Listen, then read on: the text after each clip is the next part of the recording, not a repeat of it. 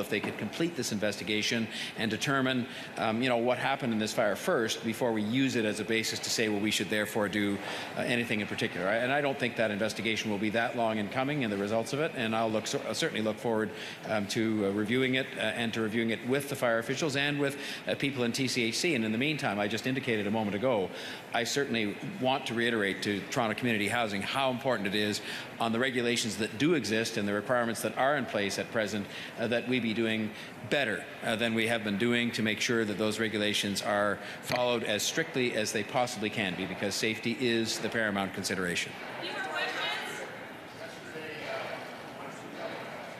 At a meeting last night, speaker said that uh, drivers have two enemies in the city. One's Uber and one is John Tory.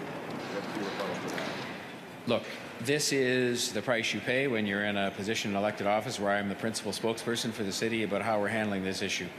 Um, and I regret the fact that they feel that way because I think a lot of it is uh, expectations that have been created by others that um, we couldn't possibly have met. The notion that, for example, that we could have been in court last week, whatever day it was after City Council, seeking an injunction and that the court hearing would be going on and possibly an injunction would be granted. I think anybody who has objectively examined the record on this, both in terms of past injunction applications and even asking any expert in the legal system, would confirm the advice of our solicitor, which is if we'd started an injunction application the day after the city council meeting, we would be months away from being in court. And therefore, people who've been led to believe that would provide some instant solution to this were being misled. And, the, and I really regret that because, as I said the other day, I think that's cruel to create expectations among people who are struggling as to what you could do. The same holds true for our efforts with respect to law enforcement. We've laid hundreds of charges, but those hundreds of charges take weeks and months to get through the court system, and there's no guarantee you're going to be successful in those law enforcement applications. And so, what are we doing? We're doing the third thing that is something you'd expect a responsible government to be doing, which is developing as quickly as possible a new set of rules that can be brought forward that will regulate Uber for the first time and, and regulate them in a way that is fair and equitable vis-a-vis the taxi industry, I suspect that is going to result in some lessening of the regulatory burden on the cab industry. And so I think we're doing everything we can to handle, handle this matter in a responsible, balanced way. And I believe the people of Toronto agree with that. And I believe they understand the emotion that is attached to that in the cab industry, but they also understand we are doing everything we can as quickly as we can in the circumstances. And so I regret the fact they've personalized it to me and that there were things said in the council chamber and so on that really don't have any place in civilized uh, discussion about these kinds of things. But I understand the emotion, and so I just will have to sort of accept the fact that that goes with the territory and my job, and that I will continue to deal with this issue as quickly as possible.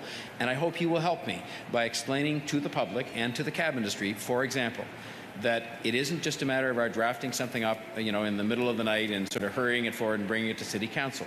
We are required under the law to engage in a certain level of consultation when we bring forward a bylaw like that. And if we don't do it, the bylaw will then be struck down and will be no further ahead than we are today. I am trying to move this forward in a responsible, practical manner as quickly as possible. And I'm sorry that it's taking as long as it is, but that is the reality of the legislative process and the law as it stands in terms of how we have to do that.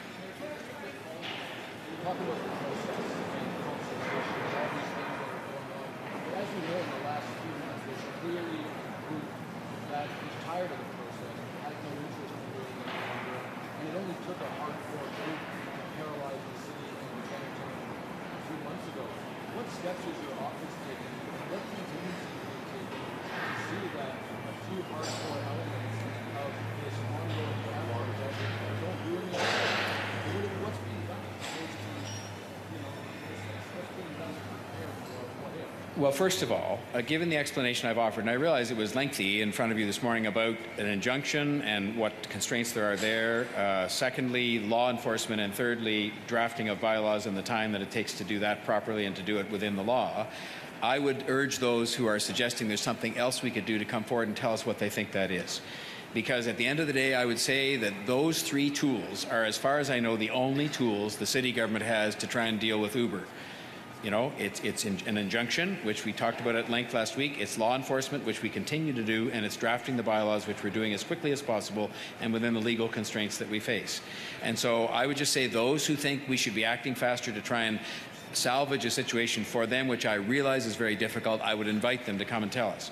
I will tell you, and I've said this before, that oftentimes when we have them in to consult, the answer they have is please ban Uber. And we have tried to indicate that whether it's here or in other cities, and I had a chance to be with some of my big city mayor colleagues last week, whether it was from Edmonton or Calgary or places where um, Uber has been present and dealt with in various different ways.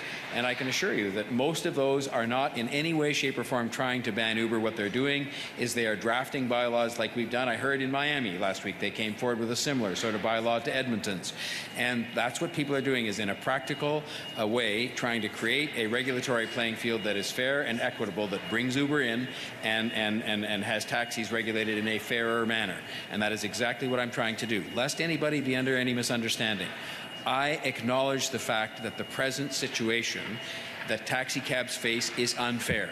I acknowledge the fact that the insurance requirements, of which they have very explicit ones, contrasted with the Uber people who have a murkier set of insurance requirements, is not fair. I acknowledge the fact that having inspections that have to be done for vehicles that are rigorous compared to more limited inspections done by Uber itself is not fair. That is what we're trying to fix. And we're trying to fix it as quickly as possible with a new draft bylaw. As far as other things my office can be doing, all we are doing is we've tried to communicate with the different elements of the industry to say to them, we are doing everything we can.